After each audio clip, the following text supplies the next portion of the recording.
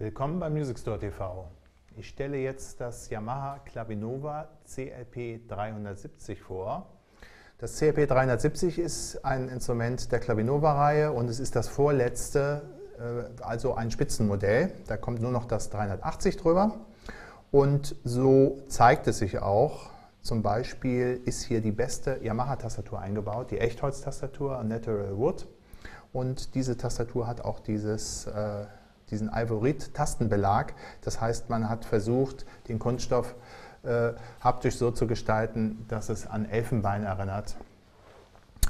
Vom Inhaltlichen, die Lautsprecheranlage hat 2x40 Watt. Das klingt erstmal wenig, ist aber absolut ausreichend. Das heißt, wenn man das Instrument aufdreht oder drei Viertel aufdreht, macht es richtig Krach, klingt aber trotzdem noch sauber und durchsichtig. Das liegt nicht an der Wattzahl, sondern an der Qualität der Lautsprecher selber, die sehr impulsstark sind und einfach eine ganz saubere Wiedergabe vom Bass bis in den höchsten Diskant gewährleisten.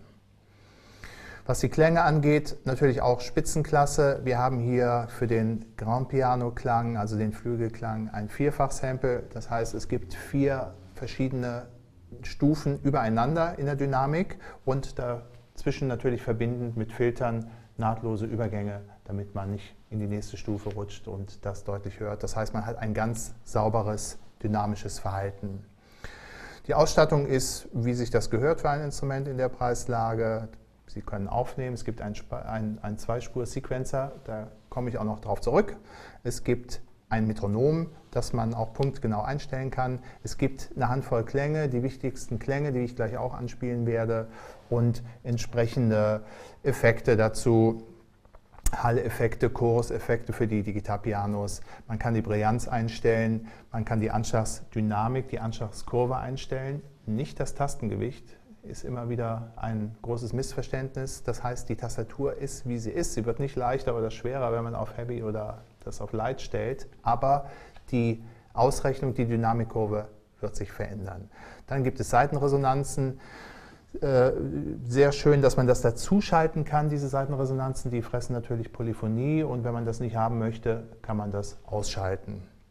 Von der Pedalerie ist eigentlich nichts Besonderes zu sagen. Es sind alle Pedale da, alle drei. Die sind auch fest, die funktionieren gut. Natürlich ein ähm, mehrstufiges Pedal für das Tonhaltepedal. Das heißt, man kann das auch so ein bisschen an, andämpfen, die Töne, wie beim echten Instrument, wie beim echten Klavier.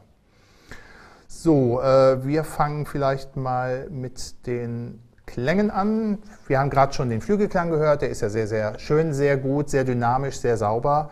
Darüber hinaus gibt es noch einen zweiten Flügelklang und für diese beiden Klänge jeweils eine Variation. Das heißt, der Grand Piano Klang 1 ist natürlich der wichtigste Klang und der aufwendigste und der teuerste. Aber wenn man sagt, ich möchte ein bisschen härteren Klang für ein Rockpiano oder ich möchte einen etwas weicheren Klang haben für romantische Sachen, kein Problem, kann man wunderbar einstellen. Dann kommen die E-Pianos, auch die klassisch das Fender Rhodes.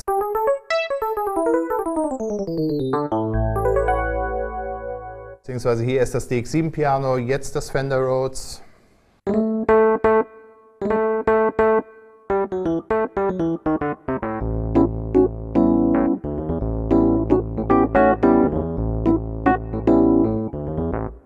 Weiter. Cembalo darf natürlich nicht fehlen, wenn man Bach spielen möchte.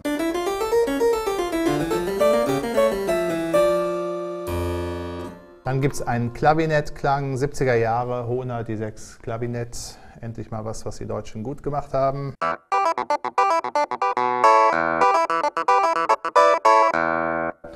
Dann ein Vibraphonklang.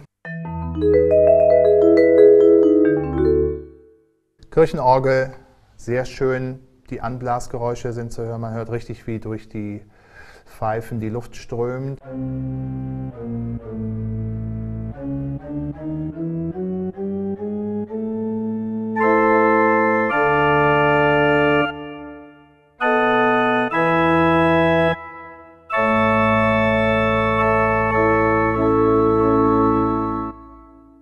Jazzorgel.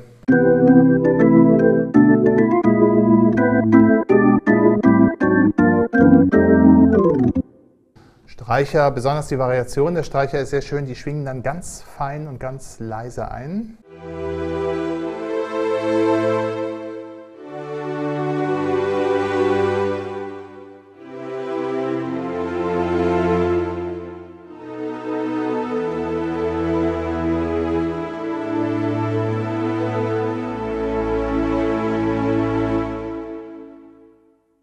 Wunderbar. Auch sehr schön die Streicher in Kombination zum Beispiel mit dem Cembalo-Klang, das klingt immer gut. Man hat dann einen sehr obertonreichen Klang und man hat einen, einen satten, weicheren Klang drunter.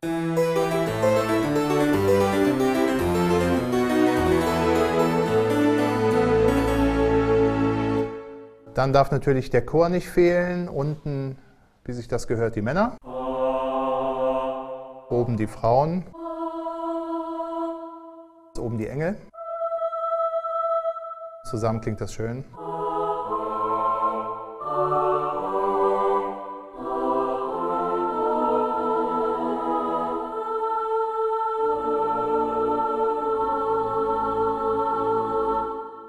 Dann eine Gitarre, eine Konzertgitarre. Mal gucken, ob ich da irgendwas hinkriege.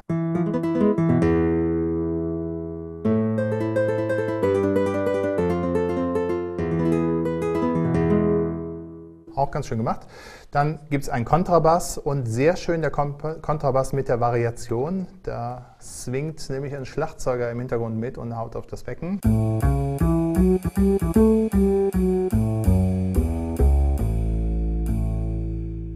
und ein E-Bass. So, das sind die Klänge. Mir gefallen sie sehr gut. Dann gibt es, wie gesagt, einen Sequencer, das heißt eine Aufnahmespur bzw. zwei Spuren.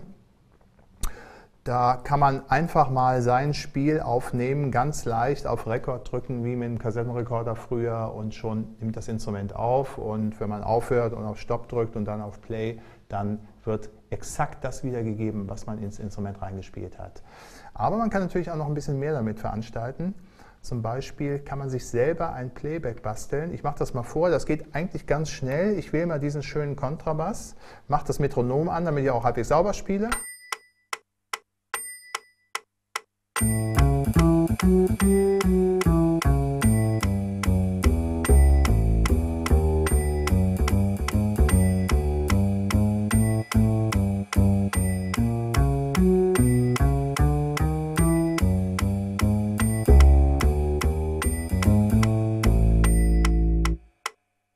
So, den habe ich jetzt aufgenommen.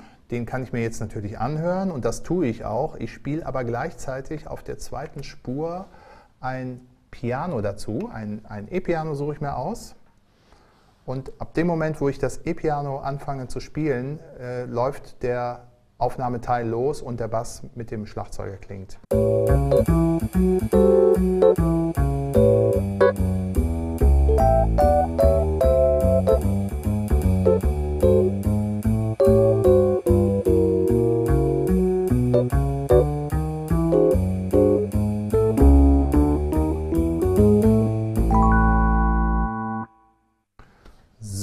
jetzt habe ich praktisch schon eine kleine Band im Hintergrund und jetzt suche ich mir einen harten Klavierklang aus, und zwar Grand Piano 2 mit Variation.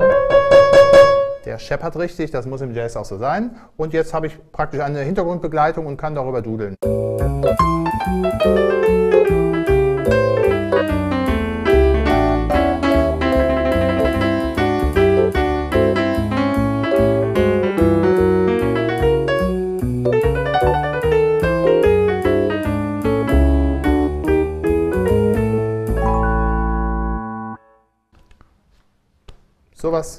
so ein Blödsinn kann man hier mit diesem Sequencer veranstalten.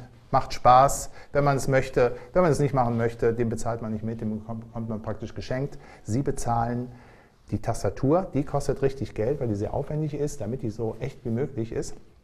Sie bezahlen den ersten Flügelklang, der muss authentisch sein, der muss klingen wie ein, ein, ein Konzertflügel, das tut er auch. Und natürlich für das Lautsprechersystem, was diesen Klang adäquat wiedergeben muss, das ist natürlich auch sehr wichtig. An Anschlussmöglichkeiten hat man alles, was man braucht. Das heißt, es gibt Line-Ausgänge, wenn man das Instrument über ein Mischpult jagen möchte oder aufnehmen möchte. Es gibt äh, Line-Eingänge, wenn man hierüber über dieses Lautsprechersystem etwas abspielen lassen möchte, eine Kassette oder eine, eine CD. Dann gibt es natürlich das MIDI-Trio, wenn man ein MIDI-Instrument anschließen möchte. Es gibt einen PC-Anschluss, einen USB-Anschluss to Host, also zum Rechner hin. Das heißt, man könnte zum Beispiel mit einem Notenschreib- oder Notendruckprogramm arbeiten und die Noten über diese Tastatur einspielen. Die Verbindung klappt sehr gut ohne Treiber. Und es gibt einen USB-to-Device-Anschluss, das heißt, da kann man einen USB-Stick einstöpseln und kann seine Aufnahmen zum einen archivieren oder andersrum auch später wieder einladen und zum Klingen bringen. Ja, das ist eigentlich alles, was über das Instrument zu sagen ist. Wenn Sie mehr wissen wollen, wenn Sie sich das Instrument mal live anhören wollen, wenn Sie sich das vorspielen lassen wollen von uns, besuchen Sie uns, Music Store in der großen Budengasse, in der Klavierabteilung. Da steht das Instrument natürlich ausgestellt und wir würden uns freuen, wenn Sie uns besuchen kommen.